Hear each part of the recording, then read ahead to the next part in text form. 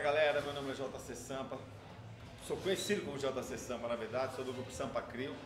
E tem uma história legal com Sapopemba porque a mãe da minha única filha é, morava aqui no Mascarenhas, então eu vinha todo final de semana, cheguei a ficar semanas aí, né? Porque aí eu dei aquela encostada na casa da sogrona, né? E acabei me envolvendo muito com o movimento todo aqui do hip hop, né? Começo do rap nacional muito forte, sempre muito atuante. Em Sapopemba, é pioneiro nisso em São Paulo, é um dos, pioneiros, dos bairros pioneiros, né, uma das regiões pioneiras, é essa região da, da Zona Leste aqui, Cidade Tiradentes, São Mateus, Sapopemba. E hoje a gente está aqui de volta depois de tantos anos, né, para comemorar, né, para celebrar, para falar de hip hop, para falar de todos os movimentos que acontecem, o que inclui o próprio funk também.